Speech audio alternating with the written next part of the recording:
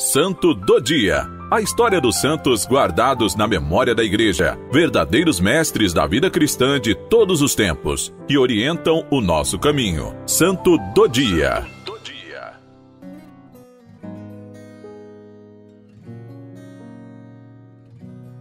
Dia 28 de julho, celebramos a santidade de Santo Inocêncio I.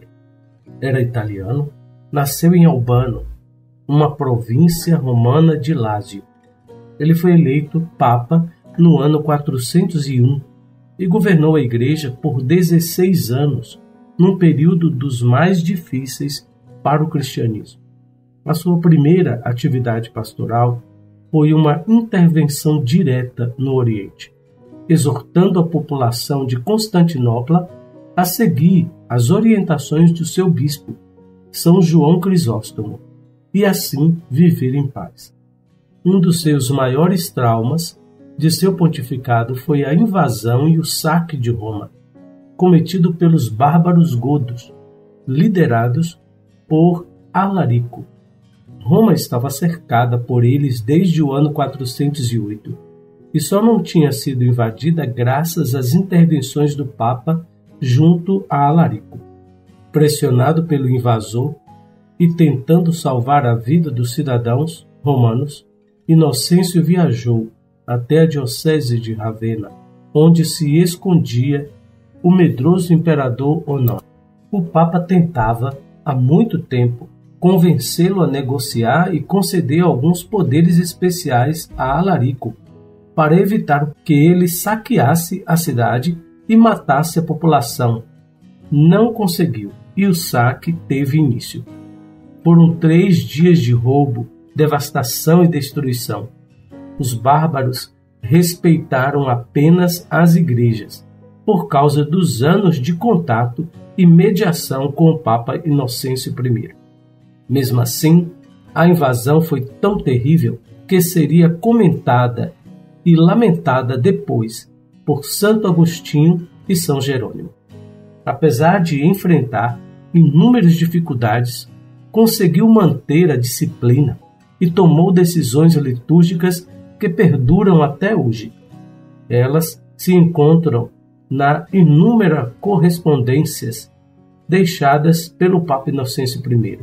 Aliás, com essas cartas se formou o primeiro núcleo das coleções canônicas, que fez parte do magistério ordinário dos pontífices alvo de estudos ainda nos nossos dias.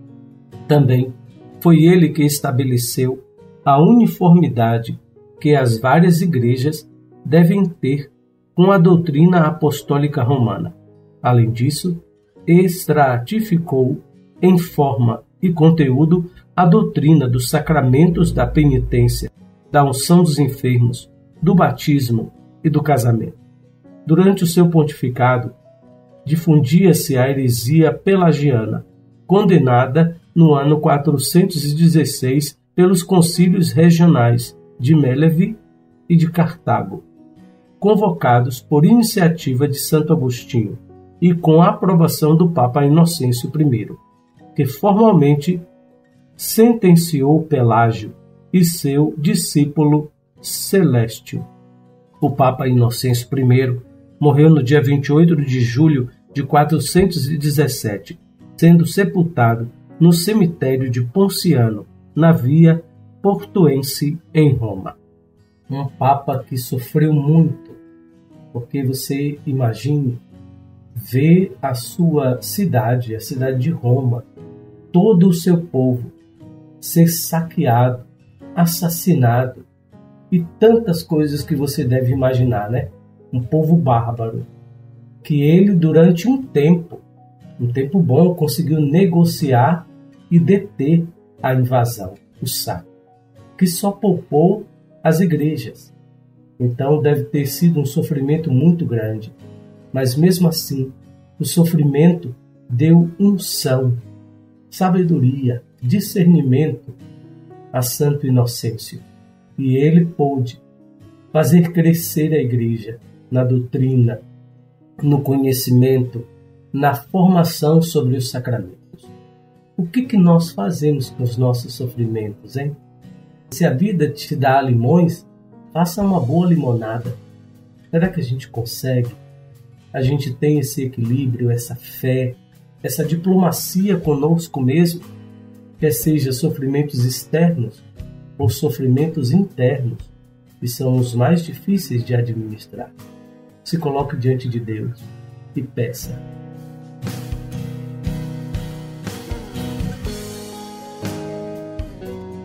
Senhor, dai-me um santo equilíbrio, dai-me um temor, prudência, discernimento e sabedoria para conduzir a minha vida o melhor para mim e para os meus irmãos.